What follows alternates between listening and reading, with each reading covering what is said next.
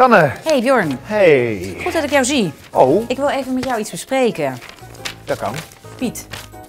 Oh. Piet regelt voortaan de kantine helemaal zelf. Wist je dat? Ja, nou dat weet ik. En Ja. Piet doet het niet. Dan kun je beter stellen. Dit- Daar liggen allemaal lege flessen en daar staan de kratten en dan staan er vijf man achter de bar en vandaag was er niemand. Ja. Gaat niet goed. Nee, het is een zootje en ik vind echt, de kantine is echt het visitekaartje van de club. Eens. Daar moeten we iets mee.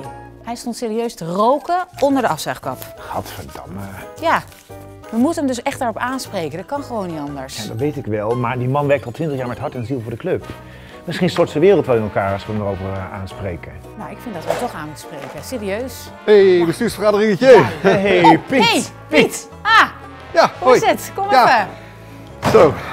Hoe is die? Ja, eh, hectisch, druk, goed. Maar eh, ja, ik, eh, alles onder controle hoor. Ja, Ah, oké. Met die, eh, dat eh jeugdtoernooitje wat gaat komen, hè? Ja, Ja. dan eh, Ja. heb je het wel druk, ja. Oké, goed. Ik zie het zweten. Jongens, ga nou toch uit die kantine. Ga naar het veld toe, hè? Ja, de veldkampjes die zitten te klooien daar zo. Ja. Maar eh, ja, Ja, ik, eh, nou, zeggen, ik moet hè? gaan. Sorry. Ja. Oh. Mijn zoon is net klaar met training, dus ik ga echt, hè, jongen. Ga hem op, hè. Oh. oh, pas op. Komt goed. Eh, wat, wat wil je zeggen?